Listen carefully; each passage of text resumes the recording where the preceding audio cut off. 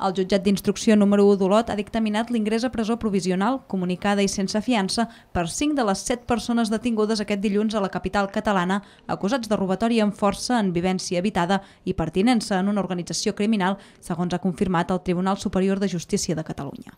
Els set detinguts van arribar ahir als jutjats d'Olot i després de 7 hores, 5 n'haurien sortit al voltant de les 9 del vespre en un furgó dels Mossos d'Esquadra que es va poder veure al llarg del dia a l'entorn de l'edifici dels jutjats. El vehicle aniria en direcció al centre penitenciari del Puig de les Basses de Figueres.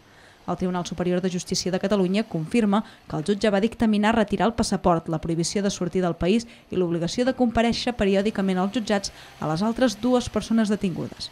Una d'elles, però, hauria ingressat igualment a presó en compliment de la pena per un delicte anterior del penal 2 de Lleida. Tot i que la banda estaria establerta a l'àrea metropolitana de Barcelona, els delictes s'haurien perpetrat a la Garrotxa, la Selva i l'Alt Empordà.